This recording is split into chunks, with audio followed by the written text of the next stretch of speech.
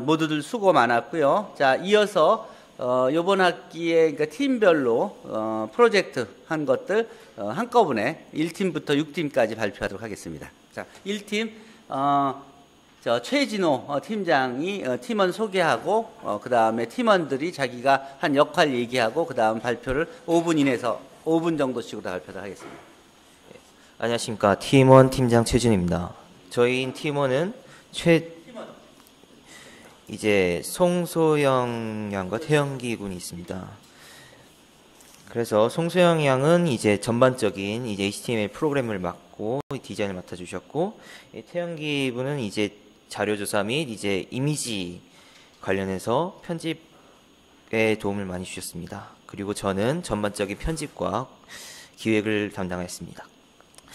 이제 저희가 이걸 했었던 이유는 이제 초, 중고등학생을 위한 이제 교, 전자 교재를 만드는 걸 해보려고 했습니다. 그래서 전반적인 소개 파트를 저희는 일단은 샘플을 만들어 봤고, 이제 저, 많은 양의 정보들을 이제 효과적으로 전달하기 위해서는 이제 다음과 같이 이제 폰트와 이제 어, 색깔 같은 것을 이용해서 이런 식으로 카드 뉴스 형식의 방식을 사용해 봤습니다.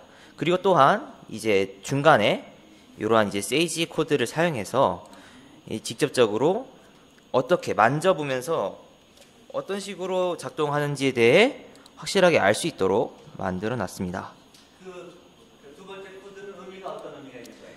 예, 이제 두 번째 코드 같은 경우에는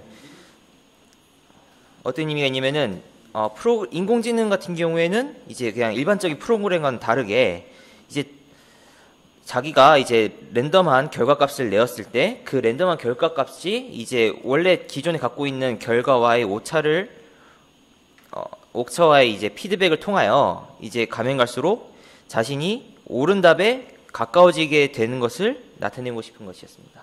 오차가 지금 계속 줄어들고 있는 알고리즘을 따르고 있는 건가요? 예, 맞습니다. 11부터 20, 10, 16, 15 해서 점점점 가까워지게 예, 맞습니다. 여기서 이제 실시간으로 이런 식으로 바꾸면은 계속 바뀌어집니다.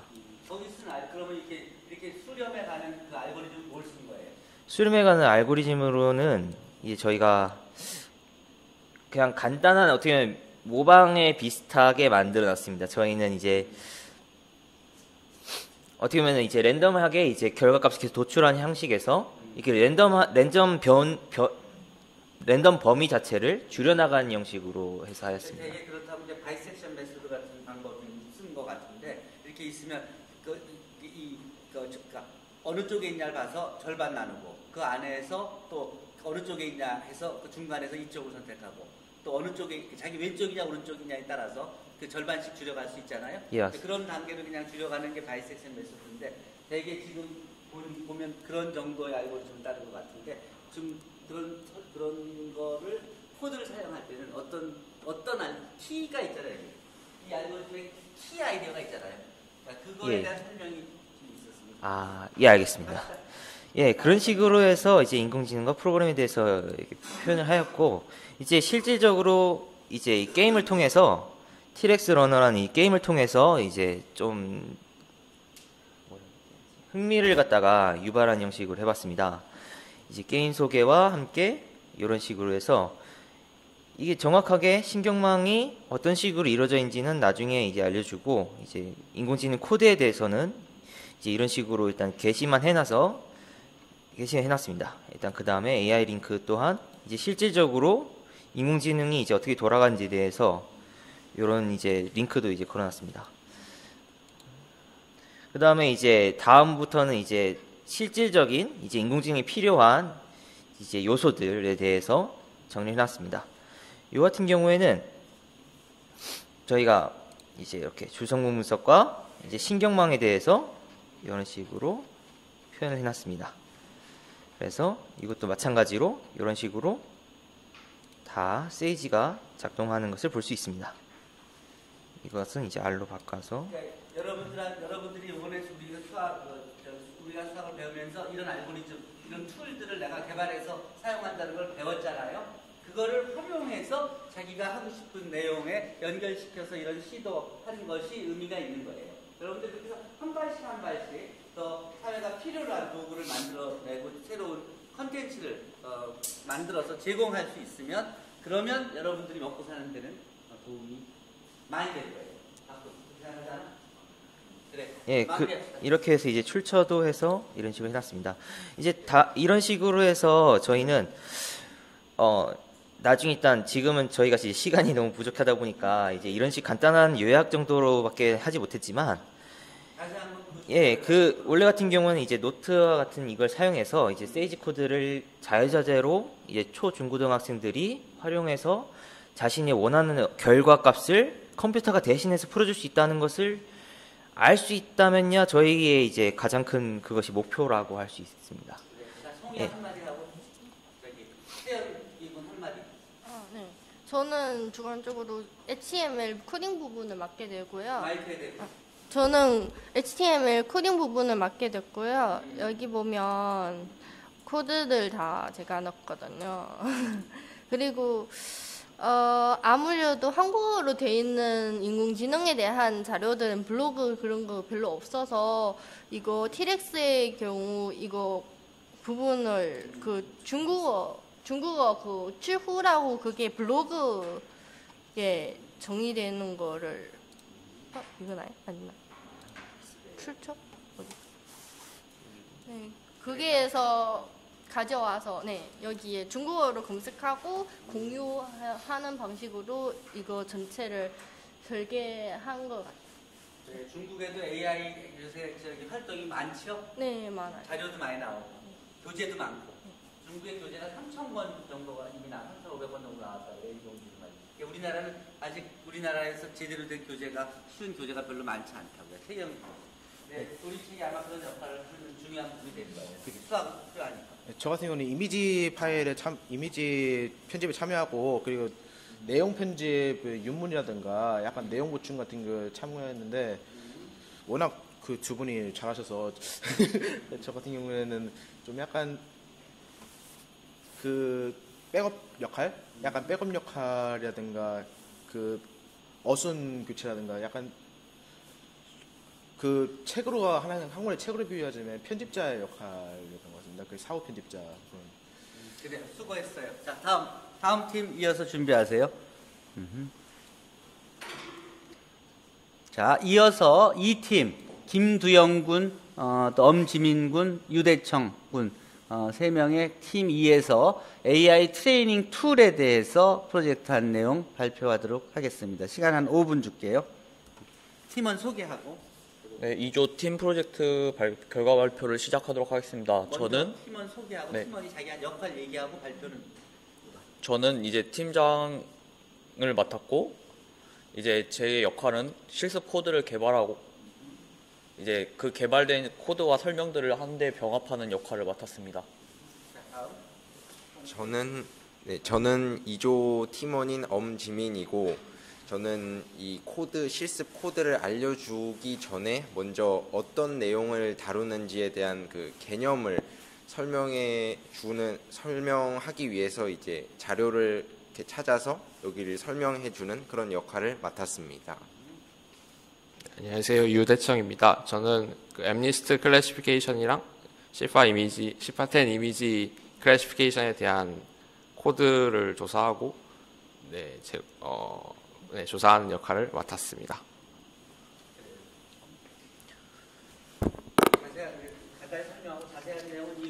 네. 저희가 이 프로젝트를 진행하게 된 동기는 현재까지 인공지능을 위한 기초 수학 수업을 들으면서 인공지능 학습에 필요한 기본적인 수학적 지식을 배웠으며 이를 이제 세이지나 R 언어 등으로 구현하는 경험을 해보았습니다. 하지만 수업을 듣는 많은 학생들이 실제로 인공지능을 학습하고 구현해 본 경험이 없기 때문에 막상 저희가 배운 내용들을 어떻게 적용해야 되는지 막막한 상황입니다. 따라서 본 수업의 파트 4에서 소개한 내용과 실제 TensorFlow라는 도구를 이용하여 인공지능을 학습하는 실습 코드와 환경을 제공함으로써 인공지능에 대한 흥미와 경험을 제공하고 싶어서 이러한 프로젝트를 진행하게 되었습니다. 지금 이게 현재 저희가 개발한 실습 도구인데 여기 보시면 크게 네 가지 종류의 실습 도구들이 있습니다. 각각을 하나씩 보- 볼 텐데 먼저 인공신경망의 학습 과정이라는 콘텐츠에서는 인공신경망이 무엇인지 개념과 이제 5차 역전파가 어떻게 이루어지는지 그리고 그에 대한 이제 실습 코드가 있고요. 이 실습 코드를 돌려보게 되면은 지금 저희가 임의로 만들어준 그 함수 그 함수가 있고 그 함수를 이제 5차 역전파로 인, 5, 차 역, 역전파법을 이용을 하여 각각의 변수에 대한 기울기를 구하는 코드이고 어, 네 해서 코, 그 5차 역전파를 구한로 구한 기울기는 다음과 같이 이제 코드를 실행해 보면은 구할 수 있습니다. 그다음 이제 경사 하관법에 대한 개념과 설명이 있고요.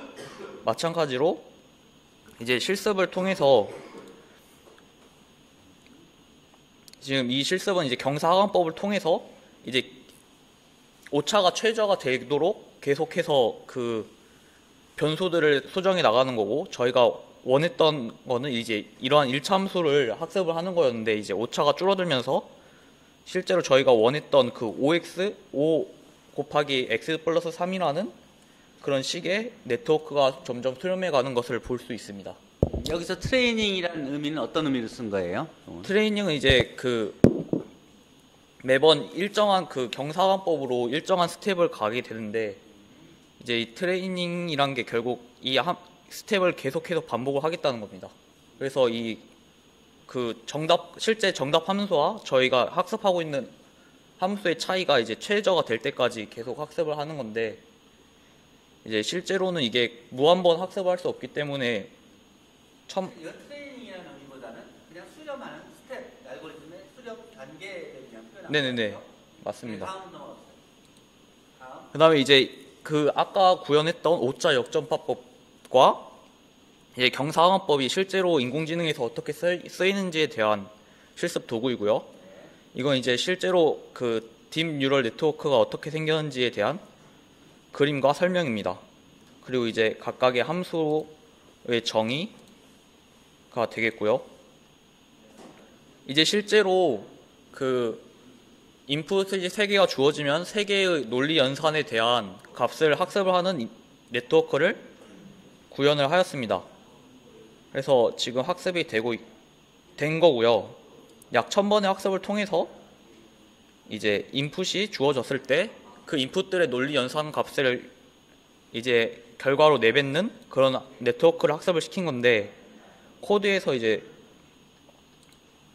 코드에서 주어진 값들을 변경을 시키면 뭐 학습하는 횟수를 줄이거나 늘릴 수 있고 또는 네트워크의 구조를 이런 식으로 바꿔줄 수 있습니다. 그러면 뭐 네트워크가 더 깊어지면은 더 좋은 성능의 인공지능이 만들어지겠죠. 이게 이제 우리 저기 그, 그 저기 N센터에 N센터에 그 슈퍼컴퓨터가 들어와서 어, 실제로 작용하게 되면 이거를 연결을 그쪽이랑 연결시키면 실제 지금 구글에서 하고 있는 그런 그 high speed computation을 바로 하게 되면 이게 단계가 뭐 50이 아니라 5천, 5만 번 돌리는 것도 바로 갔다 와서 답을 디스플레이 해줄 수 있으니까 시- 어, 실제 여러분들이 사- 어, 누리고 있는 것을 그동안 다른 대 국제 다른 나라 기업에서 누리고 있던 것을 바로 학교 안에서 해결할 수도 있다고요. 어, 실습 코드 같은 경우에는 이제 실습 코드 같은 경우에 어, 네, 실습 코드 같은 경우에는 이제 쉽게 이해할 수 있도록 함수를 뭐 정의하는 부분, 각각의 함수에 대한 정의하는 부분을 따로따로 구분을 하였고 실제로 함수가 돌아가는 부분도 따로 분리를 해서 네, 이제 아래에 있는 코드만 건들면은 저- 본인이 원하는 상태로 학습을 진행할 수 있습니다. 이 아래부터는 이제 TensorFlow라는 인공지능 학습 툴을 이용을 해서 이제 이미지를 분류를 하는 거고요.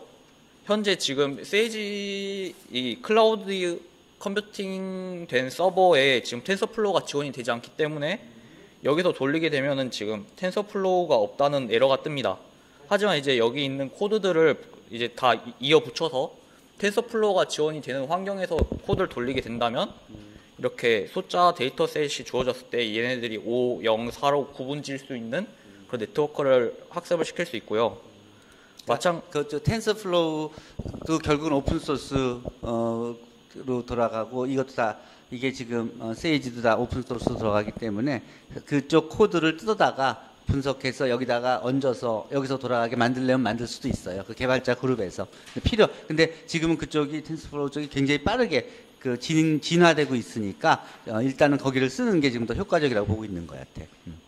마찬가지로 이것도 이제 10개의 종류를 가지는 이미지들을 분류하는 문, 문제이고 얘 같은 경우에는 이제 convolutional neural network를 이용을 해서 학습을 시키는 걸 목표로 해- 하였습니다.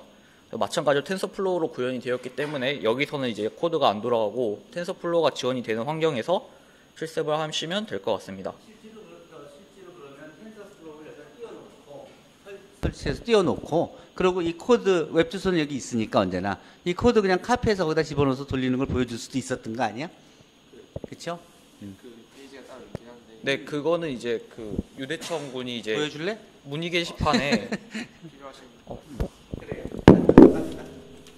지금 시간이 별로 많지 않아요. 진행을 그냥 그것까지 계획에 집어넣어서 발표를 했습니다. 근데 이제 학습이 좀 오래 걸리기 때문에 발표에서는 힘들 거라 생각했습니다.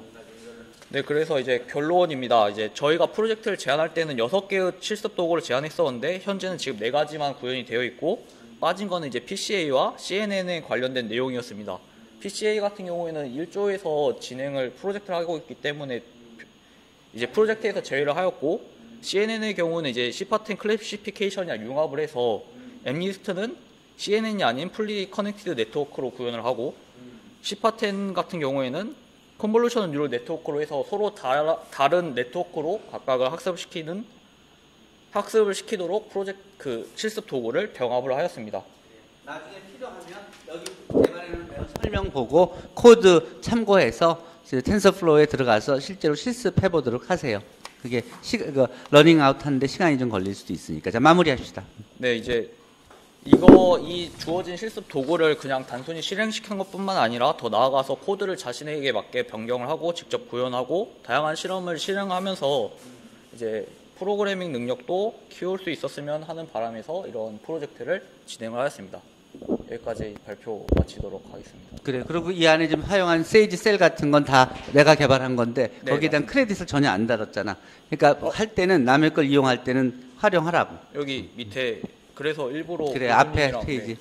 수고했어요. 잘했어요. 음. 다음 그래 3팀. 멈추고 휴지 pause pause. 아 끄지 말고 누르고 pause. 자 3팀 어 3팀 어 최준호, 김태민, 김창현 군, 어 김상현 군 팀에서 이번 어 그래.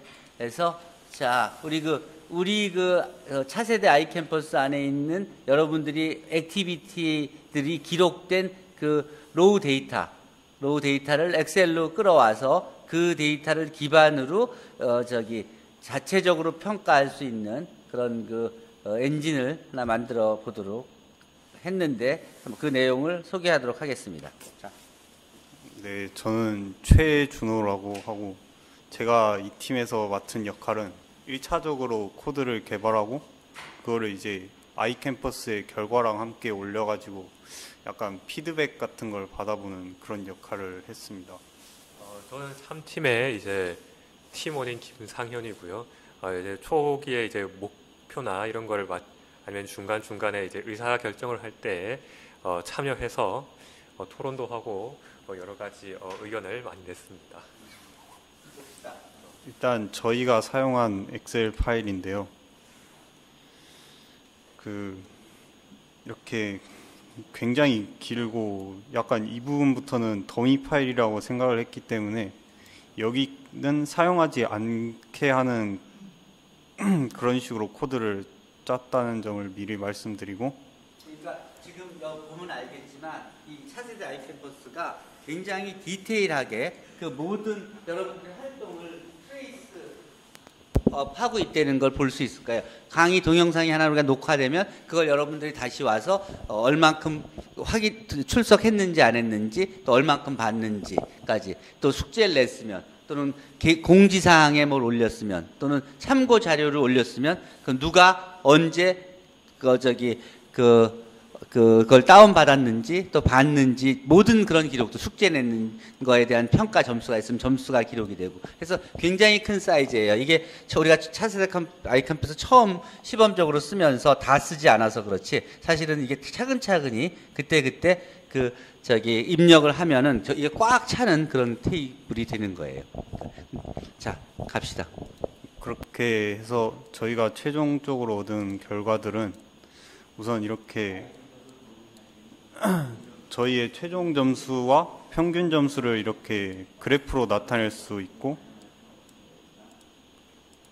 그리고 각 항목에 대한 평균과 분산, 표준 편차를 나타내고 음, 그리고 성적이 알아서 이렇게 하나의 파일로 저장이 되게 만들었습니다. 코드에 대해서 중요한 부분만 조금씩 설명을 드리면은 일단 파일을 읽어올 수 있어야겠죠. 그걸 위한 모듈인 import라는 건데 import CSV란 건데 CSV를 파일을 읽어오고 그걸 이제 저장도 할 수 있게 해주는 모듈이고요. numPy에 대한 것은 평균 분산 표준 편차를 그 작성할 때 필요한 모듈이고 이 맷플랫 라이브 이거는 아까 보여드렸던 차트를 만들 때 쓰는 거고 이 폰트 매니저는 한글이 한글이 차트에 포함되어 있으면 그 글씨가 깨져서 나오는데 그걸 해결하기 위한 모듈입니다. 조금 보면서 설명드리면 아까 교수님께서 말씀하셨지만 이게 빠진 부분들이 있어요. 이 부분들을 저희가 다루기 위해서는 이 전부 0점으로 만들어야 되잖아요. 그거를 위해서 이 코드를 작성하였고 그 항목별 점수에 대한 통계를 내야 되는데 동영상 강의들이 이렇게 다 찢어져 있어가지고 다 1점, 1점, 뭐 3점 이런 식으로 나와 있어서 그 이 포인트 파서블 이게 만점이거든요. 그래서 만점이 5점 이하인 것을 전부 통합해서 전부 동영상 강의로 만들어서 그것의 평균 분산 표준 편차를 냈고 그리고 이제 항목에 대한 점수를 만점을 100점으로 만들어 놔야 가중치를 주고 그걸 또 더해서 최종 점수를 만드는데 훨씬 다루기 쉽다고 판단해서 그걸 마- 하는 코드를 만들었는데 이제 만점이 30점인 거를 100점으로 만들면은 오류가 날 거 아니에요? 소수점들이 생기면서. 그래서 라운드를 활용해서 그 소수점 둘째 자리까지만 나타낼 수 있게 했습니다. 그리고 그렇게 했을 때 학생의 점수를 나타냈고 가중치를 적용을 했는데 어, 파일이 아까 가중치를 적용해서 최종 성적을 냈는데 보시면 최고 점수가 65점이란 걸 알 수가 있어요. 이게 왜 그러냐 하면은 이게 저희가 사용한 가중치인데 일단 기타 5%가 빠져 있고요. 저희 기말고사 채점이 되기 전이기 때문에 삼- 최종적으로 35점이 빠지게 돼서 이, 땅, 이 당시 최종 점수가 65점이 되는 것입니다. 그렇게 해서 이제 뭐 점수 합이나 점수를 크기 순으로 배열해서 등수를 나타낸 것도 있는데 이런 부분은 나중에 프린트 함수만 활용하면은 그 이걸 쓰는 분들이 확인할 수 있게 해놓았고 차트 부분에서는 이렇게 저는 글씨 크기를 8로 줄여서 설정을 해놨어요. 그 이유가 뭐냐면 이 사람 이름에다가 옆에 학번까지 나오니까 너무 길어져가지고 글씨 크기를 충분히 줄이지 않으면은 그 파악하기 어렵더라고요. 근데 그 엑셀 파일에서 바로 불러서 쓰다 보니까 어쩔 수 없이 그렇게 됐어요. 그렇게 하고 이제 텍스트 파일로 저장하는 거는 원래 저희가 엑셀 파일로 만들었었는데 그게 파일이 저장을 잘못해가지고 사라지는 바람에 어쩔 수 없이 예전 파일을 들고 왔습니다. 그렇게 해서 뭐 학생 점수라던가? 그거는 Python이 설치가 안 돼 있어가지고 네. 그래.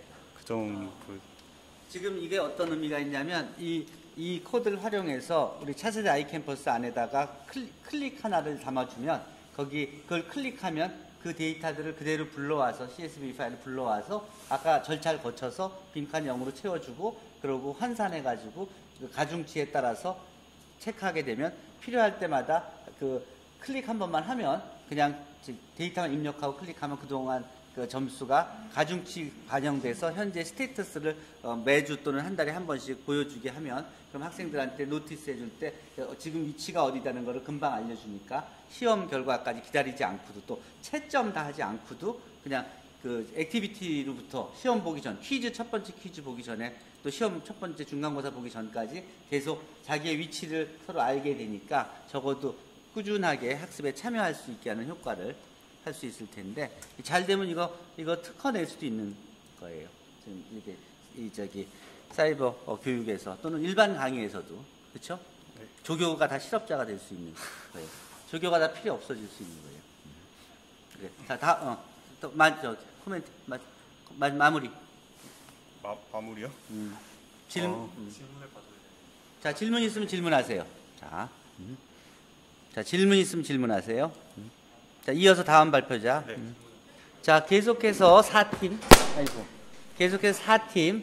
어, 민성현 군하고 이재영 군이 어, 코팀 체어로 어, final project 어, 이게 저기 우리 그 어, 행렬 도구를 참고해서 그래서 그거를 미적분 도구를 만들라고 했는데 아마 그렇게 안 한 것 같고 그뭘 했는지 한번 봅시다. 음. 어, 일단 시간 관계상 그 최대한 빨리 끝내겠습니다. 일단 그 저희 저희는 저는 일단 그 티- 사조 팀장을 맡은 민성현이고요. 어 저는 주로 그냥 솔직히 프로젝트라고 했는데 그 저희 아무도 코드를 아- 다룰 줄 아는 사람이 없어서 사실상 코드를 짜는 게 없어요. 그래서 그냥 주로 아이디어 제시로 아이디어 제시로 위주로 했습니다. 네, 저 이재영입니다. 그 저희 팀플 자체가 좀 우왕좌왕한 느낌이 많이 있어가지고 맨 처음에 이걸 할까 저걸 할까 하다가 이미 있고 해서 이제 저희가 주제를 막 거의 끝까지 정하지 못할 그런 감도 있고 해서 좀 뭐랄까 눈에 띄는 결과가 없습니다. 네. 아, 일단 그 교수님이 먼저 선형대 관련된 코드를 올려주셨거든요. 그래서 이 코드는 대충 이렇게 쭉 나와 있는데 그냥 간단히 설명하자면 맨 처음에 3 곱하기 3그 선형대 이 아래 쭉 내리면 그 코드를 돌렸을 때 이런 식으로 나오거든요. 그래서 맨 처음에 이런 3 곱하기 3 입력을 하고 그 다음에 행렬이 두 개 정도 입력할 수 있어가지고 A, B 입력한 다음에 저 이 operation에서 통해 operation에 이런 식으로 쭉 나와 있거든요. 그래서 여기서 이제 뭐 rank를 구할 수도 있고 아니면 뭐 determinant를 구한다든지 아니면 역함수를 구한다든지 아니면 그 뭐 고유값 이런 식으로 쭉 구할 수 있게 되어 있거든요. 그래서 이제 여기에 저희가 뭘 더 추가하고 싶은지에 대해 따져봤어요. 그래서 일단 이게 그 선형대 수학에 한정되어 있다 보니까 좀 더 저희가 배웠던 미적분이나 그 통계 쪽 관련을 추가하고 싶다고 생각을 했고요. 그다음에 이게 행렬이 차원이 커지면 뭐 한 5 곱하기 5 정도까지는 그냥 입력할 수 있는데 막 12 곱하기 12 이렇게 되면 입력하다가 실수가 날수 있고 그러잖아요. 그래서 어떻게 할까 하다가 만약 이것을 핸드폰으로 돌릴 수 있게 되면요. 핸드폰에 있는 카메라를 통해서 그냥 그 행렬을 찍으면 바로 그게 입력, 자동으로 입력이 되도록 할 수 있다고 생각합니다. 그래서 이 문제는 그 뭐 엘지브라 같은 거에서 돌려봤으면 다들 아시겠지만 그 미적분 식을 쓸 때 막 루트 같은 거 들어가 있으면 막 뭐 2분의 1 하면서 되게 복잡해지고 막 거기에서 네 지오지브라 엘지브라 어쨌든 지오지브라를 돌리면 그 막 괄호 같은 거 실수나면 이제 오류가 발생하고 그러잖아요. 이제 그런 것도 마찬가지로 사진을 찍으면 할 수 있다고 생각합니다.